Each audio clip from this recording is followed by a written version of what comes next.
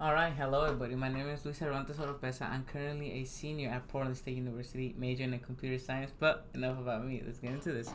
Alright, so today we're going to be learning. We're going to be learning about the color sensor. So the color sensor is very useful in the sense that it reads colors, exactly what the name is. Now it doesn't get really much fancier than that. So let's get into this. Alright, so from so let's start. Okay, so first let's set up our motors.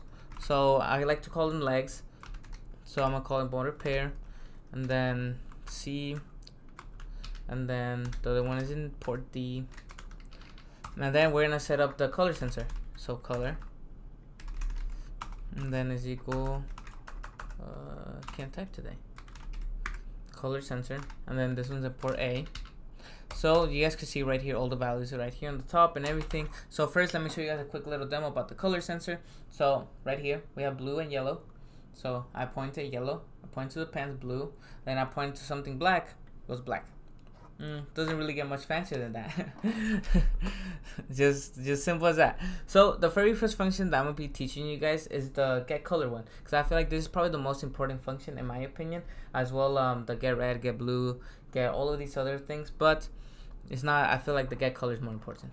So gonna do color dot get underscore color and then since we're calling the function so we could actually do a value and just be like value like a variable and just do values equal to this returns a string however we're fancy we're better than that guys so we're gonna do if get color is equal to mm, yellow um, apparently I can't spell yellow today. Then I want the motors to move. Let's stop move. What? That was scary. Okay. So and then so now that we have that we're gonna do we're gonna make it move for three seconds so we're gonna make it move for three seconds so now what this is gonna do is gonna be like hey is it yellow is it not yellow so it's gonna be constantly picking up the colors so in order to be doing that we need to choose so we need a while true so what this is gonna be doing is that um, this is gonna this is an infinite loop. So it's constantly gonna be looping, checking for the color, and once it's true, it's gonna execute it. So let's start it. So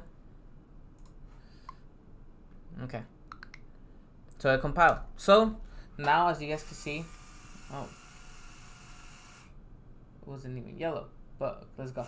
So as you guys see, it's pointing to yellow, then it's pointing to white, so it's not doing anything. I'll point to yellow again.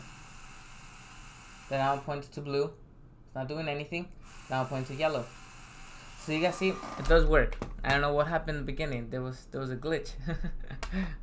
so now that we have that working, so now we could actually go. For example, you could also do blue. So I could actually show you guys the blue. Um, the blue. So sadly, I can't pick up the robot at the same time because I have to keep it connected. But actually, no, I don't have to keep it connected. Let me just download it. Okay. Okay, so now that we have that, so you guys can see right here the the color sensor. So I'm gonna point it to blue. It moves. I point it to yellow. Does do not it doesn't do anything. I'll point it to blue. And then it goes. So you guys could actually hear it through the mic. You guys can't see because I have to go like this, but just just know that it's working. you oh as well I could show it to you guys right here. So blue right here. Then I'll go to white, nothing. But I'm gonna go to blue again. Um, because the thing with this is kind of weird. Because it's kind of like, depending on the lighting, either catches or doesn't catch it. So, because it's not really blue, it's more like kind of like a baby blue. So, let's get into this. Okay, so that's just pretty much how it is.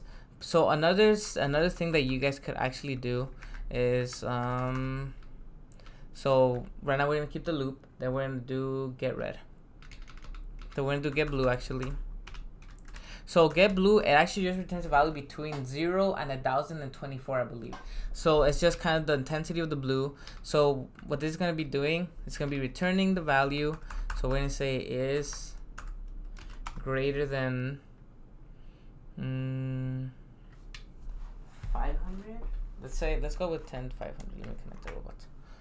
Let's go with, it's greater than actually let's say let's say it's less than 200 because let's see because this black is let's see does it does it calculate so yeah it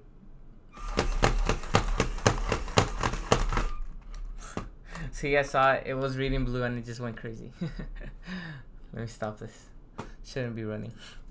Okay so now that we have that so I'm like okay.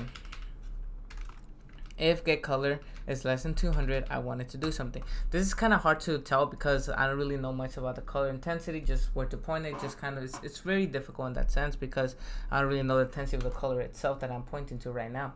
So but it's very complicated let me disconnect okay we're back in session. So I don't know sometimes sometimes that just shows up when it doesn't need the update. Okay so now we're gonna do that and then we're gonna do legs dot move and then three seconds because we're gonna make it move for three seconds. Um, mm, all right sorry about that. It was just had to update it. Okay so now right now what this is going to do is like it's going to get the intensity is it less than 200 then yes then it's going to go for three seconds. So this is kind of hard to tell because I don't know if it's going to go or not because um, why is it not going? Let's upload it. Okay so it is less than 200 right now. So let's put in the robot right? So as you guys see when it's actually pointing to blue it's not actually when it's pointing to blue it doesn't go. But as soon as I let it go it's less than 200 so the more blue it is the more it goes. But nevertheless it works. Shows you guys the statement so now we could do actually greater than 800 um, this shouldn't be going. It should just stay relaxed going based on the data we just collected so as you guys see it's not moving it's not doing anything so now let me point it to the blue uh, the blue. So apparently it is not greater than 800. Huh. So you kind of just have to be messing around with the intensity of the of the color. So, but as you guys can see, it does work. It does. The concept is there. Everything as well. The red get green, get red. All of that is still there. As well, um, another thing that we could use. So instead of having this, so we could have while true and then starting having this if statement we technically still gonna need an if statement but so we could do a color actually let me get this line of code right here so I don't have to write it again so we could do color dot wait underscore for wait until color. So what this is gonna do so right here I'm gonna catch the value. So for example value is equal to and then so what this is gonna do is that it's gonna wait until the color.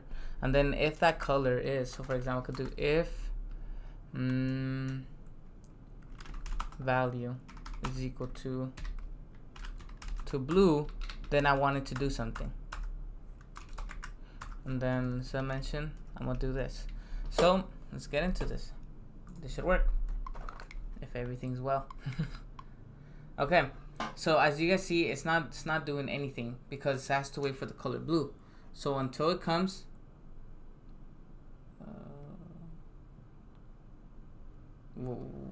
this is weird. Why is it not? Um, and another way that you guys could also check when things don't go as well. It's like, okay, what am I what am I doing wrong? You could go here. Oh, I forgot to change for blue.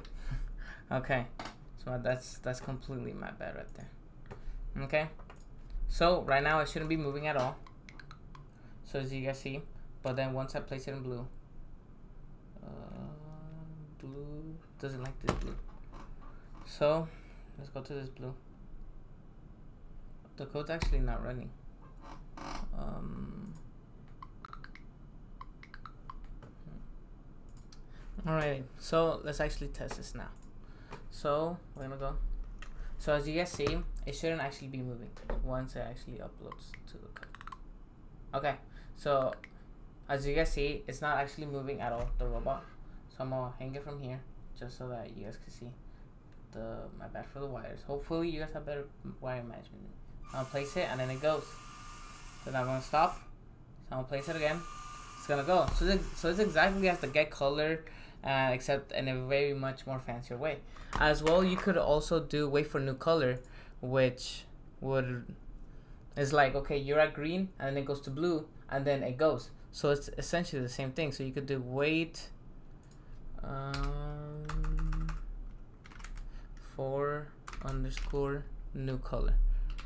So I, okay, and then so this is gonna do. So I'm gonna play it.